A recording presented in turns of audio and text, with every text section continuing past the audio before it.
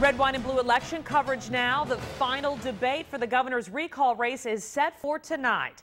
A Marquette Law poll released Wednesday shows Governor Scott Walker with a seven point lead over Milwaukee Mayor Tom Barrett, now just five days before the election. But what will voters be looking for as they watch tonight's debate? NBC 26's Cassandra Duval's live in the newsroom with more. Stacy, it all comes down to tonight's final debate. Now, these candidates have been crisscrossing the state over the last few days, trying to gain the votes of anybody who might still be undecided. Scott, you started this by saying that you're going to drop the bomb. The gloves came off during last Friday's debate. Tom Barrett aggressive with Governor Walker. The answer's simple. The facts are the facts. Our reforms are working and putting more people to work.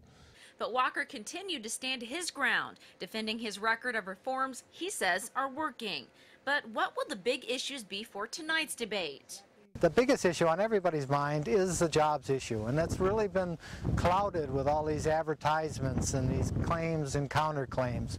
Some Democrats say it's jobs, but Republicans say it's looking at what's happened over the past year. What prompted this recall, and it was um, it was Act 10. That's what it was, the, the repeal of collective bargaining. That's why people were upset. I think you need to look at that and say, okay, how, how did it turn out?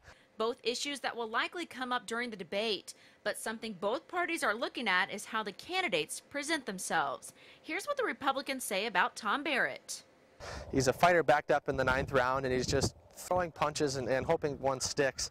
Democrats hope tonight it's different. Here's how they want voters to see him. As the conciliator, the non-confrontational leader that can bring the state back together again. With the debate influencing that small portion of people who are undecided.